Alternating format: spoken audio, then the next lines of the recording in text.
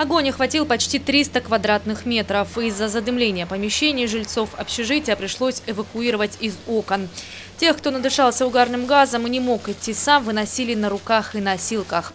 По предварительным данным, пострадали 20 человек, в том числе двое детей.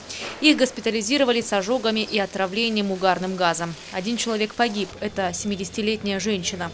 По словам местных жителей, возможными виновниками пожара могли стать беспризорные пьяницы, которых часто видели в пристройке. Кто там чего ночевал, я не знаю. Ну вот видите, что делается, ужас ведь. А.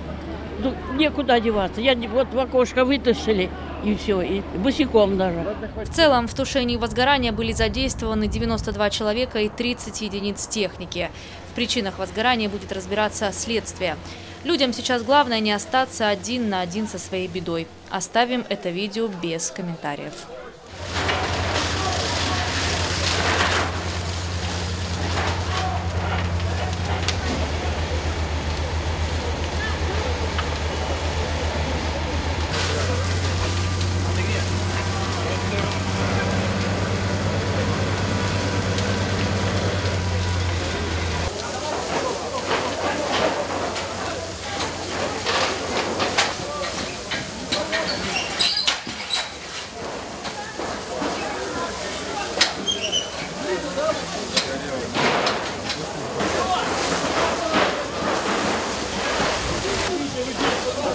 давай, давай, давай, давай.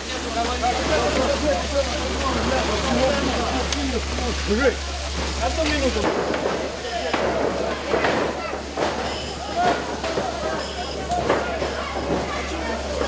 Баллон еще.